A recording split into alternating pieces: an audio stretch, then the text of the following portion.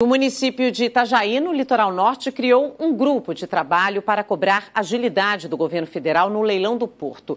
Uma primeira reunião foi realizada nessa tarde. Conversa agora ao vivo, vou chamar o repórter Anderson Antunes. Olá, uma boa noite para você. Anderson, você acompanhou aí essas informações, esse encontro. O que, que saiu, o que, que a gente pode adiantar? Boa noite.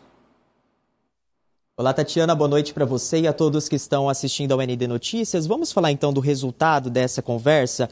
Olha só, eles devem mandar para Brasília, no Distrito Federal, um documento solicitando aí a agilização da privatização do Porto de Itajaí. Mas só para quem está em casa entender melhor como é que foi toda essa reunião, o que, que aconteceu, às duas, horas, às duas horas da tarde, perdão, uma reunião administrativa começou a traçar o futuro do Porto de Itajaí.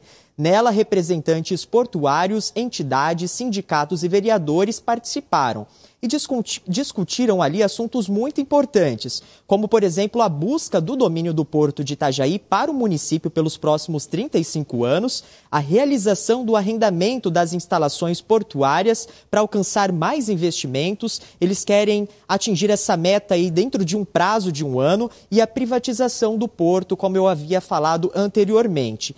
Essa documentação, esse documento deve ser formalizado nos próximos dias e entregue ao ministro Márcio França, que é o ministro de Portos e Aeroportos. Agora vamos falar da movimentação de contêineres.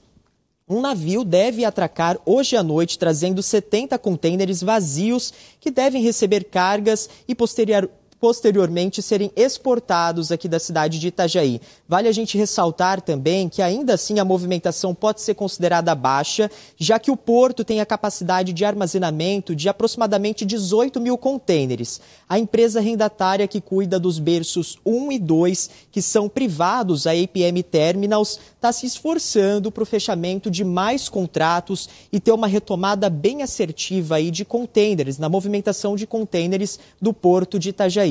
Volto com você ao estúdio, Tatiana. Ok, obrigada pelas